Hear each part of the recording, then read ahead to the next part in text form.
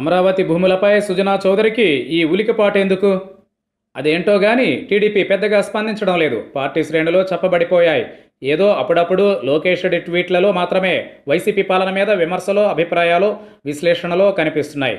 కానీ తెలుగు బీజేపీ నాయకులు అనగా బీజేపీలో చేరిన చంద్రబాబు ఆత్మీయ సహచరులు మాత్రమే ఈ మధ్య ప్రతిదానికి రెచ్చిపోతున్నారు. విచిత్రంగా ఎన్నికల ముందు దాకా బట్టలు చింపుకుని మరీ కొట్లాడుకున్నారు కదా టీడీపీ బీజేపీ నాయకులు. మీ అంత చూస్తామంటే మీ అంత చూస్తామని సవాళ్ళు విసురుకున్నారు. కానీ ఇప్పుడంతా రివర్స్ టెండరింగ్. చంద్రబాబు నోటి నుంచి బీజేపీకి మరీ ప్రత్యేకించి మోదీకి వ్యతిరేకంగా ఒక్క మాట కూడా రావడం లేదు. చంద్రబాబును జైలుకు పంపిస్తామహో అని చాటింపేసిన బీజేపీ నేతల నోళ్ళు కూడా అకస్మాత్తుగా మూతపడ్డాయి. తెల్లారితే జగన్ మీద తప్ప వాళ్ళు ఇంకెవరిని? ప్రత్యేకించి తెలుగుదేశం నేతల్లో ఒక్కరిని విమర్శించడం లేదు. నలుగురు రాజ్యసభ సభ్యులు బీజేపీలో చేరగానే చంద్రబాబు పాపాలన్నీ బారాఖూన మాఫీ అయిపోయినట్లున్నాయి. ఇప్పుడు తాజాగా సుజనా చౌదరి వ్యాఖ్యలు కూడా విచిత్రంగా ఉన్నాయి. అదే సమయంలో ఎందుకలా ఉలిక్కిపడుతున్నాడబ్బా అనే కొత్త ఆలోచనలకు తావిస్తున్నాయి. బొత్స సత్యనారాయణ ఎక్కడో మాట్లాడుతూ రాజధాని విషయంలో ఇన్సైడర్ ట్రేడింగ్ జరిగింది. ఓ మాజీ మంత్రి చాలా ఎక్కువగా మాట్లాడుతున్నాడు. తను గనక సవాల్ విసిరితే తను రాజధానిలో ఎన్ని భూములు కొన్నాడో వెంటనే బయట పెడతా అన్నాడు. దానికి సుజనా చౌదరి ఎందుకు భుజాలు తడుముకున్నాడో అర్థం కావడం లేదు ఎవరికి.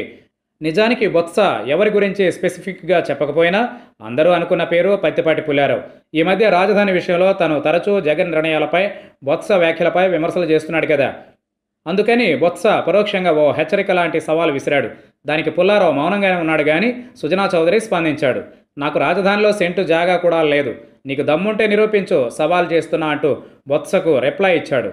నిజానికి బొత్స పత్తిపాటి పుల్లారావును ఉద్దేశించే వ్యాఖ్యలు చేశాడంటూ సోషల్ మీడియా రాస్తున్నది. ఆయనే కొన్ని వందల కోట్లతో ఇన్సైడర్ ట్రేడింగ్ చేశాడు. ఎన్నికల ఫలితాలు వచ్చిన వారంలోనే ఆయన కొడుకు yellow stone estates private limited కంపెనీలోకి డైరెక్ట్గా ఎంట్రీ ఇచ్చాడు. Axis Bank Hyderabad and Andhra Bank Koratipadu Guntur నుండి యాభై ప్లస్ డెబ్బై ఐదు కోట్ల రుణం తీసుకుని ఆ డబ్బుతో ఫూలింగ్ విధి విధానాలు అండ్ ఏరియా డిసైడ్ కాకముందు అనౌన్స్మెంట్ రాకముందు దాదాపు రెండు వందల ఎకరాలు కొన్నాడు. ఇంకా ఇలా ఎన్ని ఎకరాలు కొన్నాడు? అసలు రెండు వేల పదిహేడు జనవరిలో మంగళగిరి సబ్ రిజిస్ట్రార్ సస్పెన్షన్ వెనుక అసలు కథ ఏంటి? ఇలా సాగిపోయాయి సోషల్ మీడియాలో పోస్టులు. సుజనా చౌదరి భుజాలు తడుముకోవడం వెనక ఉలిక్కిపాటు వెనక కథ ఏంటి? తన పేరిట భూములేవి లేవు పో అంటున్నాడంటే వేరే పేర్లపై ఉన్నాయా? అమరావతిలో దాదాపు పద్నాలుగు వేల ఎకరాల క్రయ విక్రయాలను జగన్ ప్రభుత్వం తవ్వుతోంది. ఎక్కడెక్కడి నుంచి ఎంత డబ్బు వచ్చింది? ఎవరెవరి పేర్లపై కొన్నారు?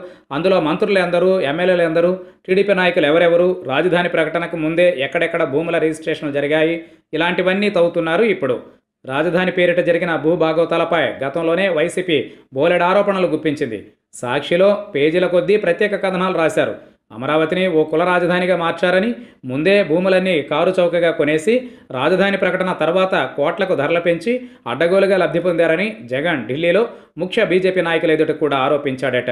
అంతా బాగానే ఉంది కానీ రాజధాని భూభాగోతాల్ని తవ్వుతూ ఉంటే బీజేపీ నేతలు ప్రత్యేకించి బీజేపీలోకి వలస వచ్చిన టీడీపీ మాజీ నేతలు ఎందుకు ఉలిక్కి పడుతున్నారబ్బా